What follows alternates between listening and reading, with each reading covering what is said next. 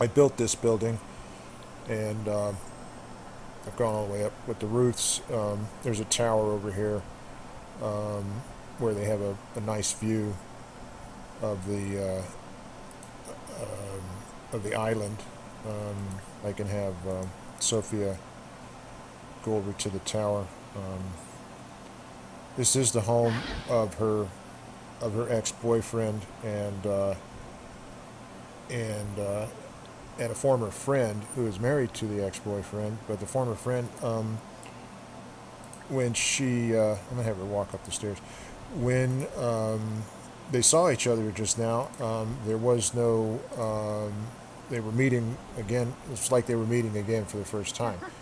Okay, so Sophia's sun has definitely come up at 7:42 a.m. and so she's starting to uh, crackle, um, and um, she's climbing up the stairs to inside the tower, um, and she is still crackling. Um, okay, she stopped.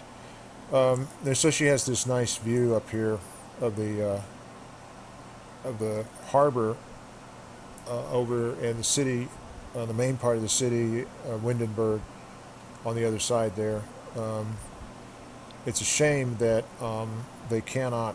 Um, oh, she's going back down um, to the bar. Uh, her thing is uh, when she doesn't have anything else to do, um, she mixes drinks, and um, I keep saying that I'm going to do this. I'm going to have her go. Uh, to a bar. Actually, wanted her to buy a restaurant, and she can do that. And uh, and then she can uh, work on her comedy, and at the same time uh, moonlight as a mixologist. Um, why is she going to this other bar?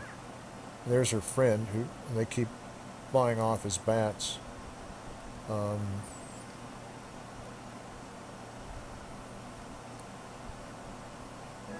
there's a way to disable autonomous um, bats